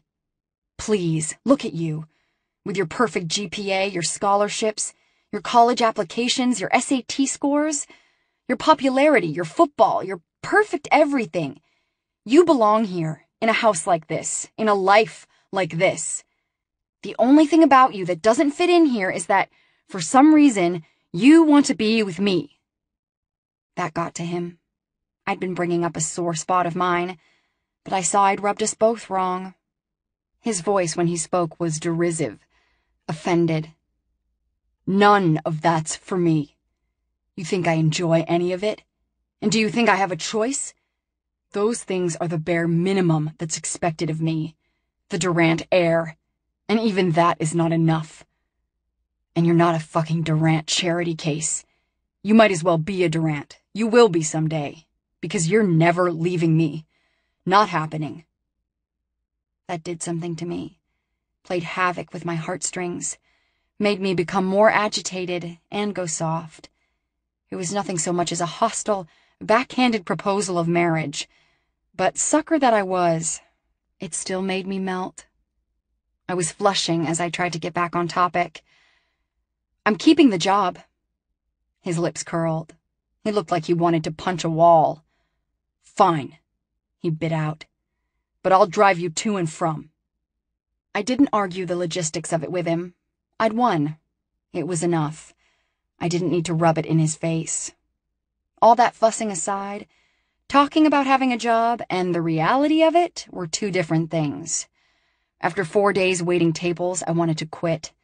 Pure stubbornness was all that kept me from it. People were rude, men were gross, and the manager was a lech. It was an old-fashioned diner with a pretty simple menu, but it seemed like I did nothing but screw orders up for at least the first week. And worse, much worse than any of that, five days into the job, Harris found me. He didn't do anything I could take real exception to at first. He just occupied a booth in the corner, ordered cup after cup of coffee, pretended to work on a laptop, and watched me. For hours. I tried my best to serve and then ignore him, but the barest amount of small talk was required for the job, even for him. Do you bring your work here often? I asked him begrudgingly the first day he did this. He smiled warmly. Every day. Oh, joy. I asked my manager, Brett, about that at the end of the shift. He was an overweight, middle-aged man that I was a hundred percent sure had hired me because he thought I was attractive and he liked having eye candy around. As always, when he spoke to me, he addressed my breasts instead of my face. I think he's been in once or twice. Be nice to him. Don't charge him for coffee. Police discount. I tried not to roll my eyes and complied. Do you ever eat? I asked Harris on his third day of stalking me out in the open. He sat back in his seat, biting his lip. Something new had entered his eyes. Something I did not like. That an invitation? You want to grab a bite to eat with me after your shift? I blushed blushed like an innocent fool. I could tell he got off on it, and I wanted to kick myself. I have a boyfriend, I muttered and hurried away. He never did more than watch me. He never had the opportunity. Dante was true to his word. He dropped me off and picked me up every single shift. I was more thankful for it than I'd been anticipating. After the first day of Harris eye fucking me for three hours, he was there when Dante showed up to get me. The two men had a volatile stare down, but that was it. Harris made sure to leave before Dante showed up again. He was oily slick. It put me in a bad position. Harris wasn't doing anything, so there were no actions I could take to stop him. I told myself that I was bothered by him because I allowed myself to be bothered. I wanted to tell Dante about him, but how could I? It would prove his point, and besides and above that, there was not a damn thing he could do about it. There were a few times Harris stepped over the line, but even then it was a tenuous thing, and in a game of his word against mine, mine meant shit to anyone that could have done something about it. I was a few weeks into this, I was at that point where I hated it, but I wasn't done fighting for it. My cursed stubbornness at its most counterproductive. Harris was doing his usual routine, inhaling bad coffee, and unabashedly watching me. It was a particularly dead day, and the slowest part at that.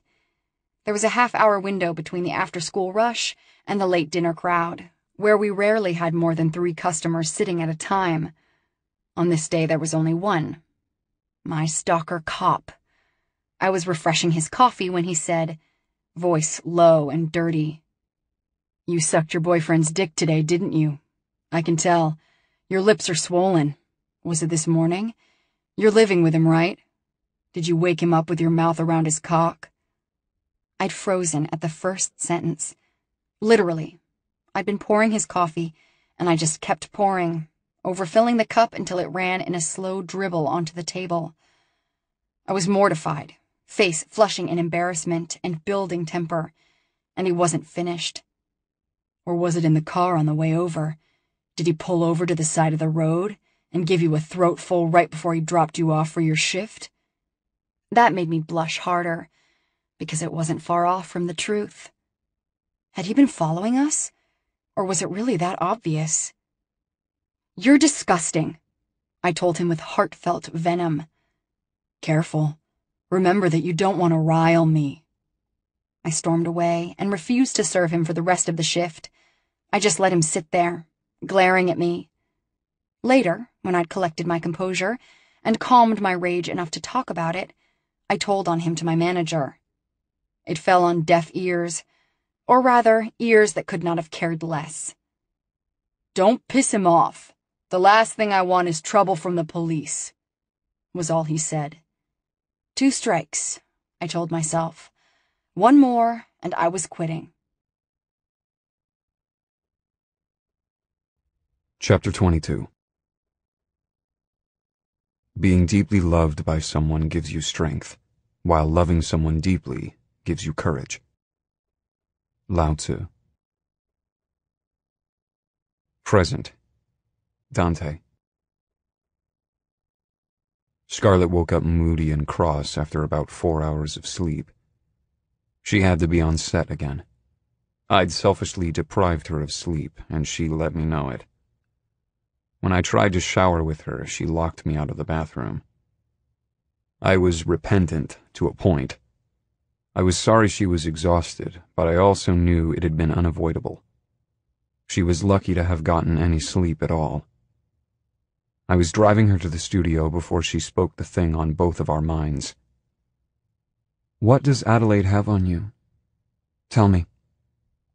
I tried not to let my face so much as twitch. You want to do this now? On your way into a long day of work? She didn't answer, which was answer enough. This role was important to her. Even at her most self-sabotaging, she wasn't going to screw it up and aside from the previous night's unavoidable sleep-depriving gluttony, I wouldn't be screwing it up for her either. Tonight, she stated stonily, a faint but unmistakable hint of a threat in her voice. And I knew what the threat was. Of course I did. I needed to talk or proof she was gone. Tonight, I agreed. Are your roommates still on a trip? Yes, they come back late tomorrow. This next part I didn't like. It went against the grain of every instinct I had. But I'd barely balked at doing what needed to be done. When they're home, you sleep at your apartment. My tone was careful. I was going for neutral, but it came out more than a touch pained. I felt her staring at me. Her eyes were burning a hole into the side of my face. I kept my gaze resolutely on the road. Okay, she said simply. She wasn't even going to ask. I hated that. Hated that she might not really care, that somehow she could go even one more night without me and not need a reason why. I'd spent many, many nights without her, but I'd always, always had my reasons and known them too well. But if she was going to let it drop, I had to let her. I had so many blows to deliver. I needed to pull punches whenever, wherever, however I could. Maybe if I could space out the damage, it would do less lasting harm to her. One could hope. I was less a man for wishing and more a creature of action, but I'd take anything I could get. The drop-off didn't go well. She tried to dart out of the car without a goodbye, but I stayed her with a firm grip on her wrist. A kiss, I told her solemnly. We would get back on track. We had to. I'd been through hell and back, had lost faith in everything except for this, her and me, simply because I had refused, despite every awful thing working against us, to let it go. Sometimes faith is a choice. We would get back on track. She was as far from me as she could get in the restrictive confines of the vehicle. It was a small car, though, a Jaguar F-Type, so we were still pretty damned close. Scarlett, just a kiss. I'll behave myself, I promise. She watched me warily. I can't, Dante. I don't have any time. I need to keep my game face on here. This role is important to me. I knew, absolutely knew, that she was just making excuses. It hurt, but I'd been hurt worse. I told myself that it wouldn't always be this way. Just a kiss on the cheek, then, and then we'll say goodbye. I cajoled. She was worrying at her lip, looking at me like I might bite because she knew me. But she slowly nodded and leaned a bit closer. I met her more than halfway, placing a chaste, loving kiss on her cheek, then her forehead, then her other cheek. Her breath was coming out in little pants, her eyes closed, lips parted. So much for chaste. I rubbed our lips together, tongue darting to lick hers tentatively, and then deeper, stroking into her mouth, my hands going to cup her face. She moaned deep in her chest, a sound of abject need, and started sucking on my tongue. I pulled back with a gasp. Her face was stunned for a moment, but it quickly turned into a glare. I almost smiled. See you tonight. Bastard. She got home late, and I was waiting up for her. Even if I could have put it off another day, I wasn't sure I wanted to at this point. I was ready to come clean, to get it all out in the open at last. God, it was a long time coming. Scarlett didn't draw it out. We'd barely cleared the bedroom door when she said, What does she have on you? Tell me. I stopped mid-stride, turning to her. She'd gone by her apartment before she'd come over and packed an overnight bag. I'd carried it upstairs for her and still had it clutched in my right hand. I dropped it on the floor, just staring at her for a minute. Where to even begin? I felt my head shake. A slow, precise movement. A little to the right, a little to the left. It was enough. So simple, but so telling. Her face froze. That, she said dully. Of course. For how long? You know, I said. I watched as comprehension struck. It was a terrible thing. The look in her eyes would haunt me to the end of my days. Haunted. Like everything with us, the hurt cut both ways. She made you break up with me. She said it like she didn't quite believe it. You'd think the truth would be less harmful than the lies I'd told her. But sometimes the truth is the hardest thing to stomach, especially if you knew that some part of you should have seen it all along. Of course. Two words, straightforward, brutal in their simplicity. She jerked like she'd been struck, her blinking eyes searching the room frantically, looking anywhere but at me. When you made that phone call, she paused. Both of those phone calls, she corrected herself. She was with you, wasn't she? Her voice broke on the question, her tone so raw it made my chest ache and my eyes sting. But I answered her. Of course. And there it was. She staggered where she stood. I was over in a beat, going to her, but I was a second too late. She had collapsed to the floor. I'd only ever seen her once like this, bowed in on herself. Broken, bent, boneless in her pain, a pile on the floor. Completely defeated. Destroyed. Even with the way I'd known, because I had absolutely known, that I'd broken her heart. The pain of it had never made her shoulders less straight. Her pride, which was both the bane of my existence and one of the things that had saved us both, had only ever left her one time before. And now. I scooped her up in my arms and carried her to bed. She was shaking and crying, the sobs quiet but powerful, rocking her entire body in waves until she was convulsing against me. I'd hurt her and myself more. I'd had to lie, had to, but I wished I could make her believe one truth. Her pain was always worse for me than my own. She was inconsolable, sobbing in my arms like her heart was breaking all over again. Eventually she spoke, haltingly and in near incoherent fragments. The things we've done to each other. The things we've done to ourselves. You don't know. It's all in the past, I murmured into her forehead. I was running my hand over her head over and over, petting her. It was an old familiar gesture, the way I always used to comfort her before our lives had gone to shit. We can put it in the past and leave it there. We can move on. We will find a way to move on. I told her the words ringing desperate because I was trying to convince myself as well. You don't know, she sobbed brokenly. You don't know. I shut my eyes, old familiar pain washing over me. My voice was thick with emotion when finally I said, I do know. We both do now. All that's left is to move forward. She started shaking her head and didn't stop. No. No, you don't know.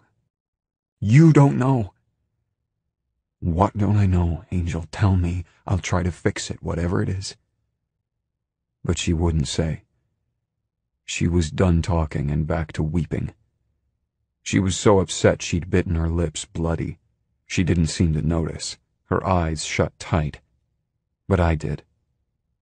It was another thing I'd only seen her do one time before. Quietly and firmly with my fingers, I made her stop. Shh, shh, it's okay. I soothed her, blotting at her lips with my shirt. All the while, my heart was breaking all over again. She didn't ask me any more questions that night, and I was relieved. We'd both reached our threshold on suffering for the moment. I hoped that the worst was past us. But I've never had much luck with hope. Chapter 23 Life is hard. After all, it kills you. Katharine Hepburn Past Scarlett Do you know the kind of trouble that old bitch has gotten me into? Do you even care that you're messing with my career? All I've ever done is care about you and try to do right by you. And this is how you repay me? Harris spoke to me in a low, mean voice, pitched quiet enough that his words didn't carry beyond his usual stalking booth in the diner. That was the first time I started to get a real sense that he was delusional. He seemed to have some idea in his head of what our relationship was, and it was not even remotely close to reality. I don't know what you're talking about, I said stoically. I started to move away. Vivian Durant. She's been prying into my actions, questioning my methods. She went over my head to my superiors, and because she's filthy rich, they're listening to her. Finally, an encouraging development. It made me feel brave enough to say, Good. Maybe you should stop bothering me every day. Maybe you should give up on stalking teenage girls altogether if you don't want to get into trouble for it.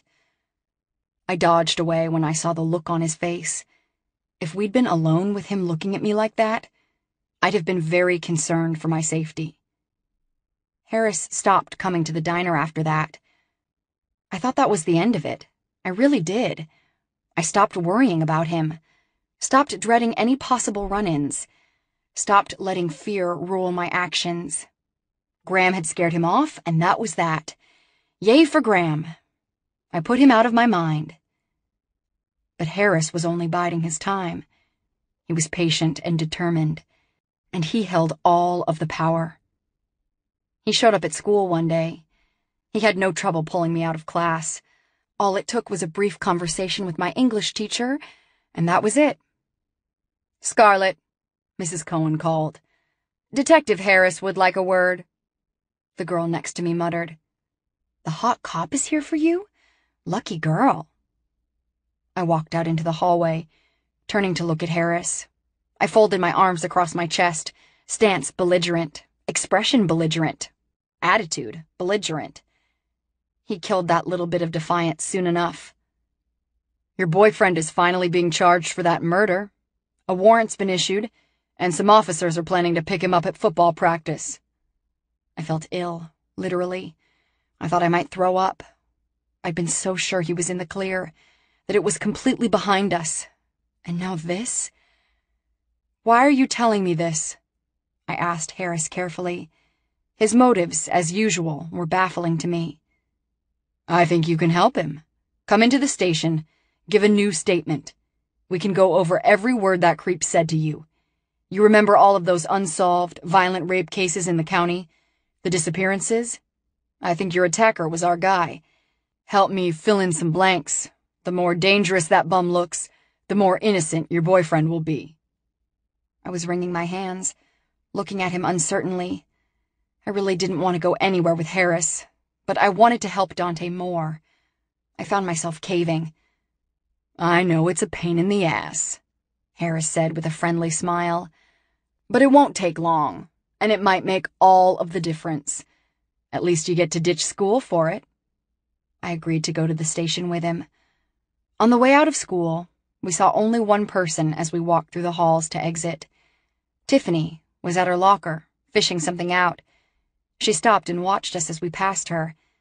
Harris was walking just in front of me, but I slowed and let him get farther ahead as we came even with her. If you see Dante, will you tell him that Harris took me out of school?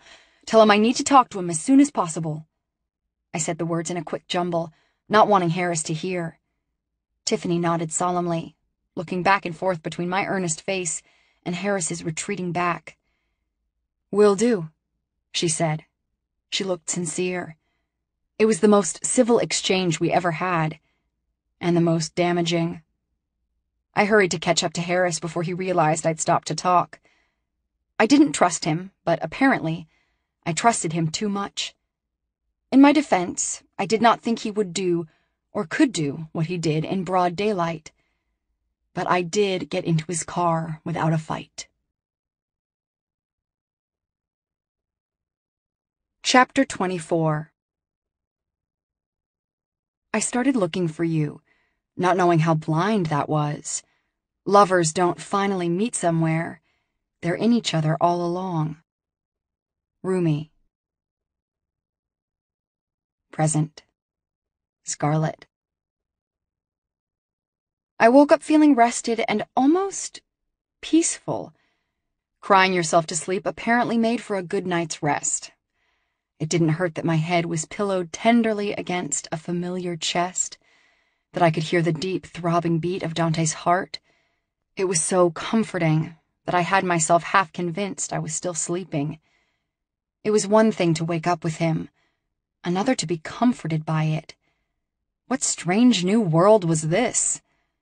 I couldn't believe he was real, that this was, that after all of the war, we could have a moment of real peace, or that we were looking at trying to carve out some kind of a future together.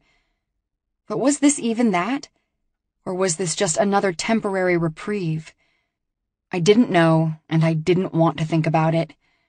Instead, I allowed myself a moment, a few, a dozen, a hundred, to revel in the arms of the only man who would ever own my heart. His bare torso was warm, firm, and very real, but I ran my hands over him like he might disappear. I could touch him now, and not as a way to hurt or wound. My hand on his chest spoke of the ownership I had been denying myself for five rough years. Five hopeless years. Five hateful years. Five lost years. Morning, Angel. His voice came out of his chest in a touchable rumble that spoke of deep affection. He kissed the top of my head, his familiar hand stroking over my hair. I shut my eyes, letting myself enjoy it letting myself acknowledge just how much I needed it. This would take some getting used to. I was still afraid to even hope I might get the chance. Hmm, I mumbled into his chest. It didn't mean anything, just a general sound of contentment. He shifted me onto my back, propping up on one elbow, close to my side. I touched his face. Part of my mind was still in that fuzzy place between sleep and full cognizance. Are you real? I whispered it, like I was afraid someone else might hear the silly question. He grinned, shifting closer. His free hand grabbed one of mine, bringing it to his lips. He placed a soft, open-mouthed kiss on my palm. His eyes smiled as he dragged the hand down, cupping it over his very happy morning erection. Is that real enough for you? I glared at him. He threw his head back and laughed. His laugh was wonderful, touchable. I set my hand to his throat just to feel closer to it. His laughing eyes came back to mine, and his face sobered in one quick fall. He touched my cheek. Jesus, that look. What are you trying to do to me here? I let my eyes answer that question. With a groan, he leaned down and kissed me. It was a tentative contact at first, his talented lips feeling at mine with utmost care, his own way of validating that I was real. It was almost sweet, and finished too quickly. He started to pull back, but I stopped him by grabbing his face, crushing his mouth to mine. The need came sudden and dark. I had to have him. Had to. On me, in me, I craved that most intimate connection, him in the deepest part of me, with ravenous simplicity. When he pulled back again, I let him, my breath coming short. Now, it was a plea, an order, a curse, all in one. Well, if you insist, he muttered. He was such a fake. He'd lost his senses several thumping heartbeats earlier, and we both knew it. He descended on me again, mouth on my jaw, kissing down to my neck, over my collarbone, moving down. He peeled off my oversized cat t-shirt, lips coming back to my bare skin. When he sucked my nipples, my back arched off the bed, my toes curling in delight. I was so primed that I thought he might bring me over with that contact alone. But he didn't linger there long moving inexorably lower and lower, nuzzling between my legs, eating me out like I was a feast and he was starved. That made two of us. When he'd put a fork in me, Done. Finished me. He laid his cheek against my inner thigh, his drowning blue eyes aimed up the line of my body at mine, and managed to look winsome. I shut my eyes and stroked his hair. I was having a battle with myself, feeling too emotional, wanting to tamp it down, to reprimand the part of me that lived for this, that thought my entire reason for existing was wrapped up in it. In the end, emotion won, aided by sensation. He was licking his way up my stomach, nuzzling, kissing, touching everything with his fingertips, like he would memorize me. Though I knew he'd burned every detail of me into his brain a very long time ago. This was just a refresher course. By the time his mouth made its way